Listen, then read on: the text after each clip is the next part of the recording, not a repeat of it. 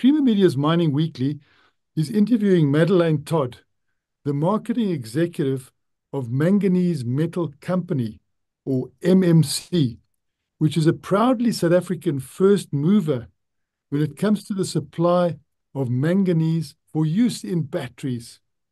Hi, Madeleine. It's great to chat to you once again. What is the latest news around the decision of MMC to enter the electric vehicle EV battery market quickly to meet the urgent needs of some of its customers? If you can recall, in May this year, you were chatting to Bernard Swanepoel and Louis Nel, um, other members of the MMC team. And then they explained to you that in order to progress faster, we will first do a project of metal to sulfate conversion because we are an existing manganese metal producer for 50 years already. And we have access to high purity manganese units that we will be converting that into manganese sulfate for the, the batteries for the EV industry. So the current status is our project is fully funded.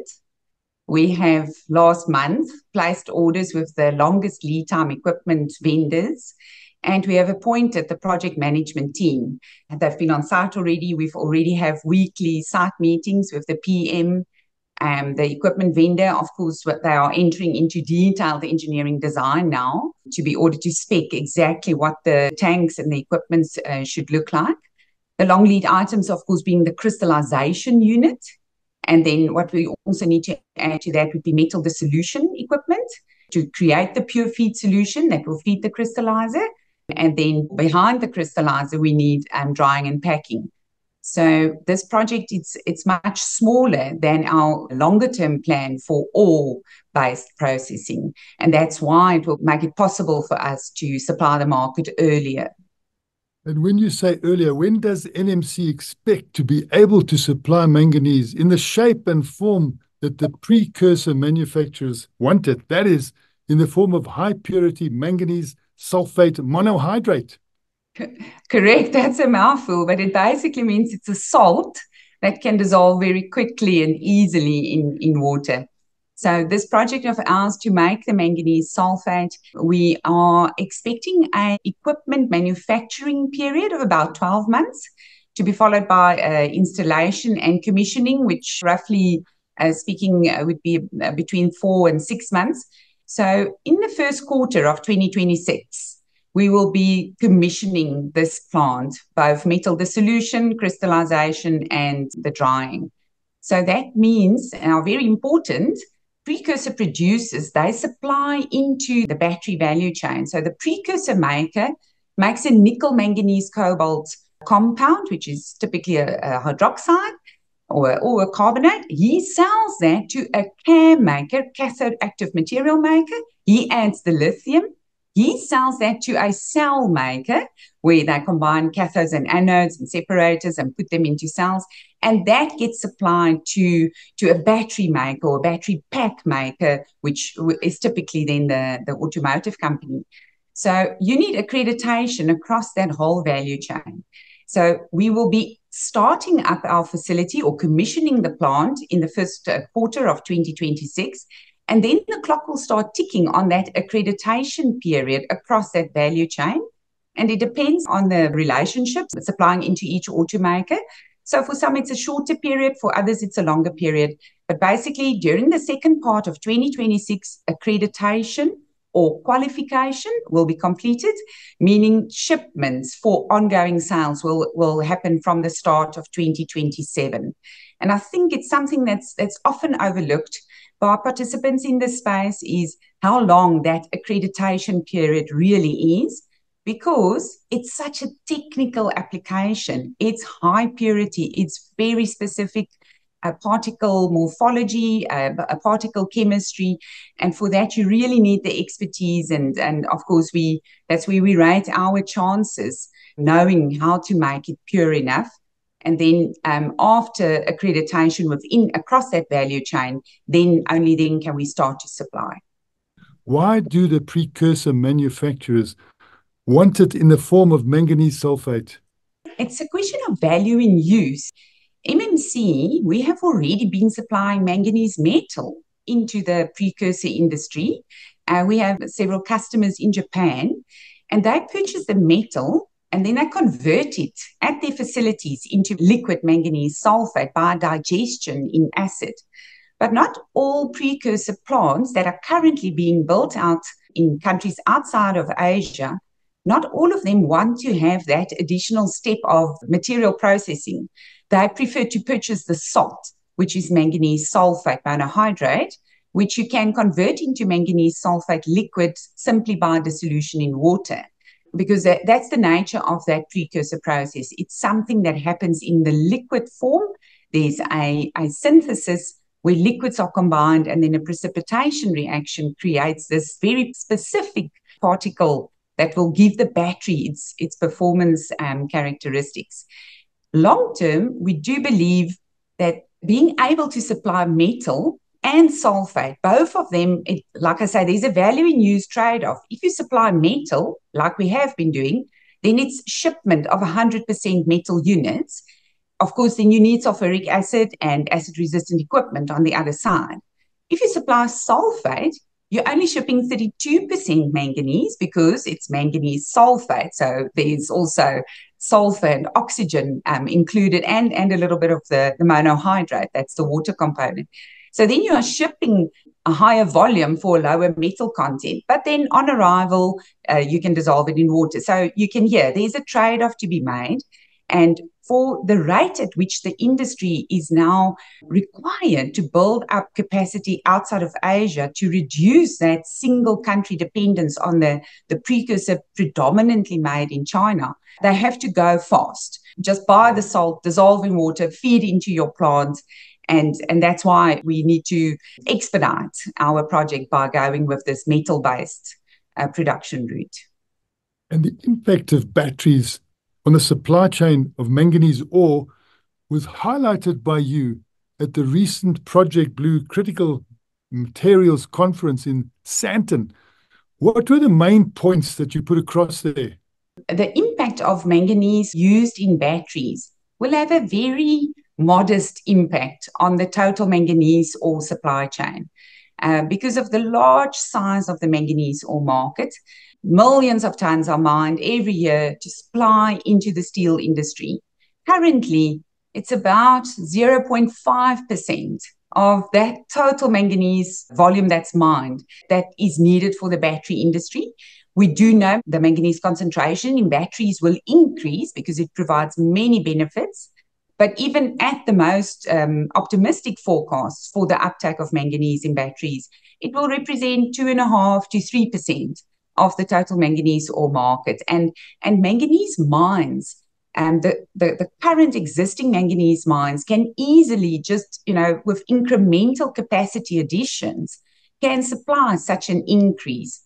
And in fact, um, because it's a you, you, need to make a liquid or you need to well you first need to purify it before you make the liquid. And that purification process happens in a hydrometallurgical plant. So ideally you want fines manganese ore mining fines or, or even tailings from manganese ore washing operations uh, which you know that it really lends itself to be a, a very suitable feed material and it resolves a, a, a, problem of mining discard you know it's it's too fine to be fed into the steel industry but there's nothing wrong with it. It's perfect to be fed into into this type of process. So my message was to the to the whole investment community be prudent with capital allocation.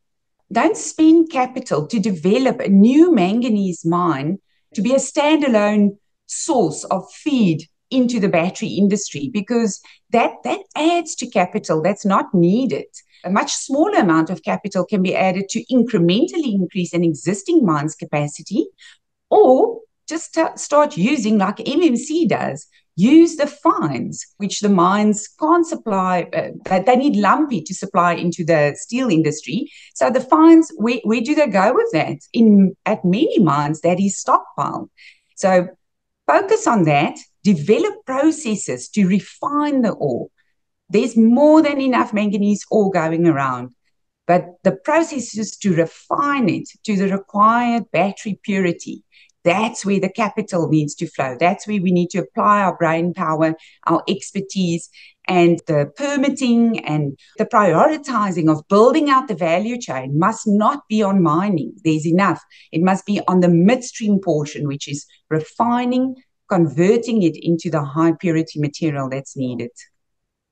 And this midstream is becoming so important, and I see mm. China is starting to dominate that. But who is able to do what MMC is able to do outside of China?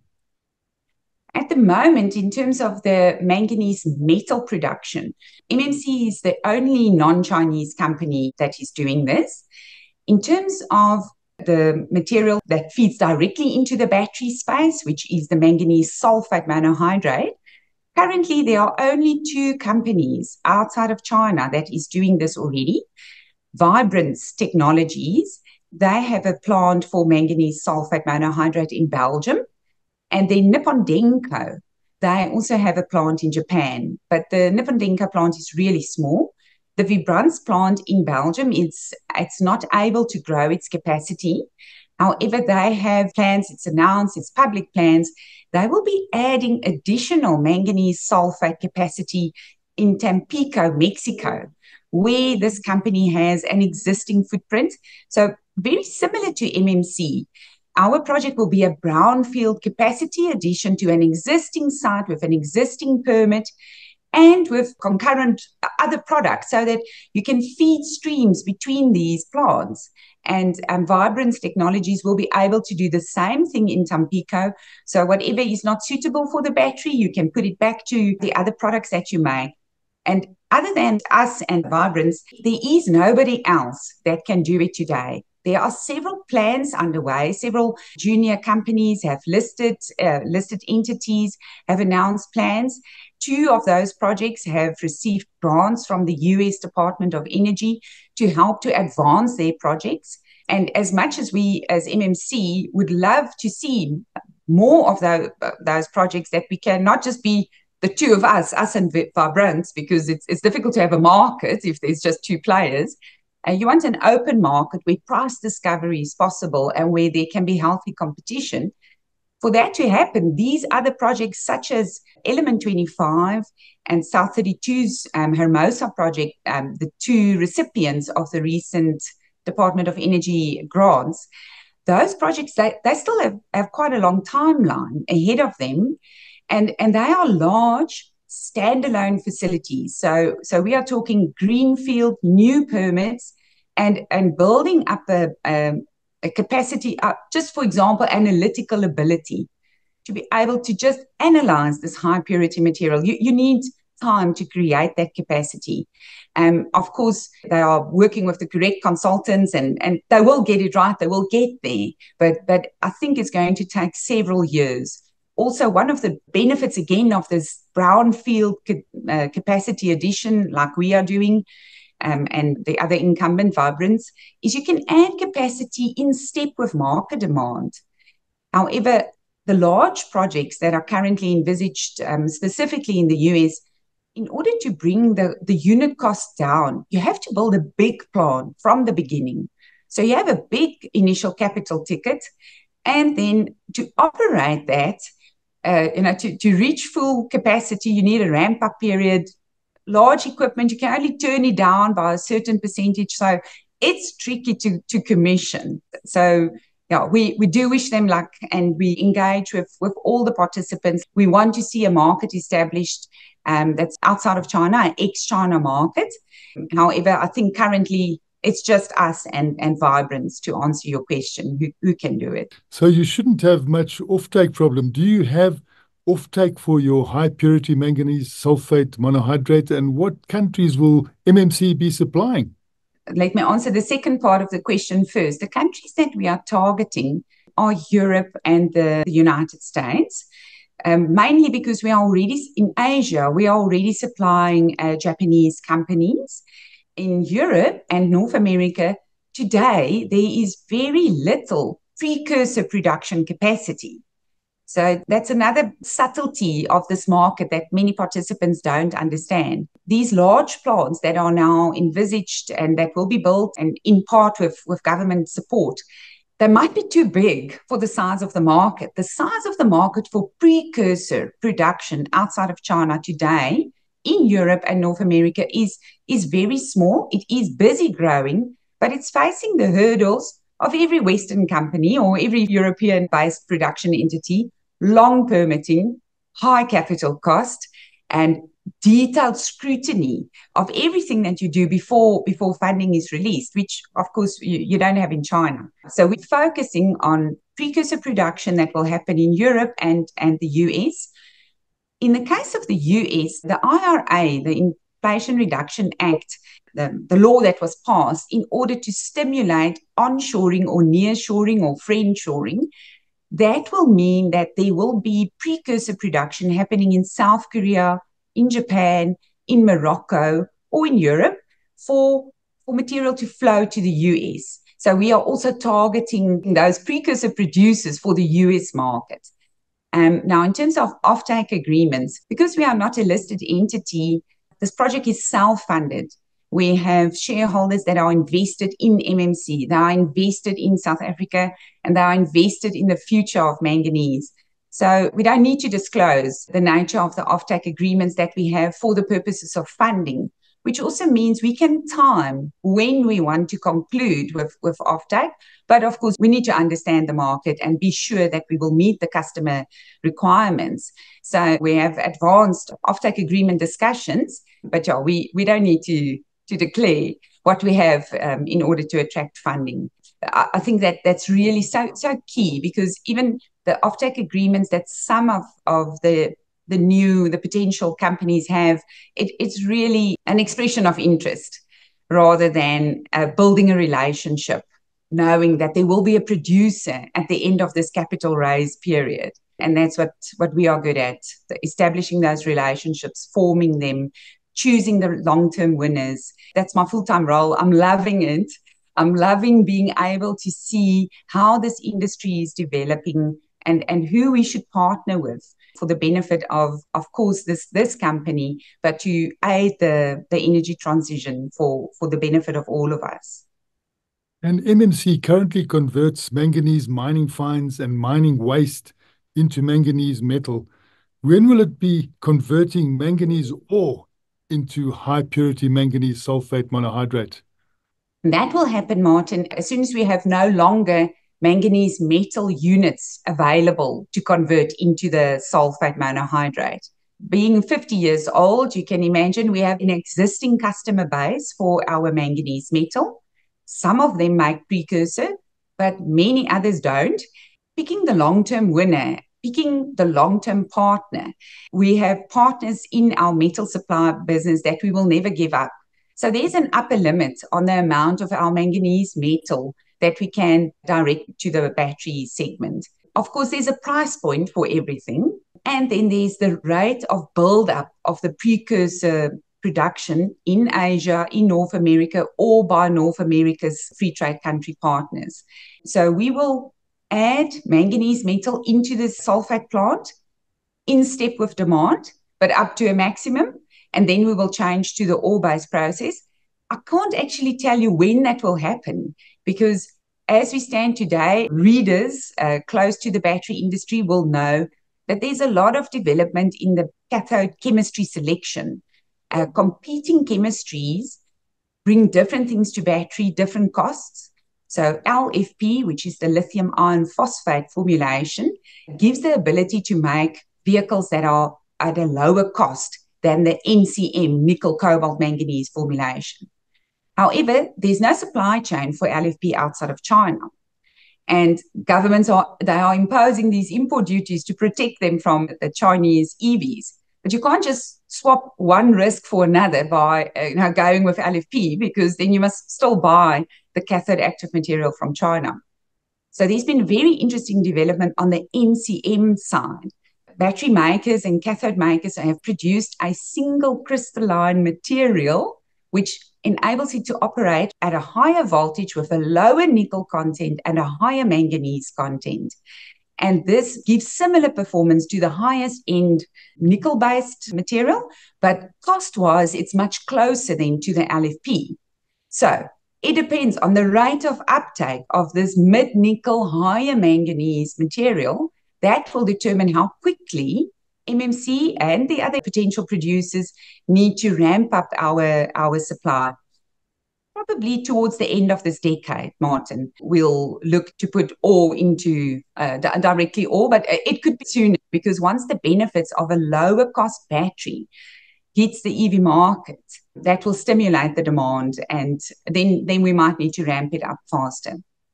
How will the 150 million project be funded? The, the 150 million is the capex amount for this metal to sulfate project. If you can remember, the ore to sulfate had a much higher capital number. And while we were engaging with different partners to look for funding, when we realized we, we actually need to move faster, and then the change to the metal to uh, sulfate project, that project has the 150 million capex number attached to it. That is self funded by the owners of MMC. As I've mentioned, they believe in South Africa, they believe in their team, and they believe in the future of manganese in batteries. So, this is a vote of confidence that we will build the first plant on our own we will operate it and we will supply the world with non Chinese units. And finally, Madeleine, what is the biggest takeaway from all this? We're going to be very busy. That's of that I'm sure. Um, the MMC team stands ready. Yeah, the hard work is ahead of us. The project manager is here. Um, this whole team they have descended on us. We are doing um, many, many concurrent activities. Manganese is good for batteries. I've now referred to this new formulation, mid nickel, high voltage, higher manganese. So more manganese will be needed for batteries. And then the world is realizing that lack of capacity in the midstream. They first allocated money to mining and to, to, to cell factories, but now they're realizing the midstream is still very China dependent. And so manganese good for batteries capital is starting to flow to the midstream. And what do you need in the midstream? Expertise. You need to know how to make high purity stuff without creating effluents, without creating harmful wastes, and with high yields. Because one way to make high purity is you just reject everything that's not high purity, but that increases costs. So, different facets of expertise that you need. Those are the three takeaways. That was Creamer Media's Mining Weekly, speaking to Madeleine Todd, the marketing executive of Manganese Metal Company, MMC, of Mbombela in Mpumalanga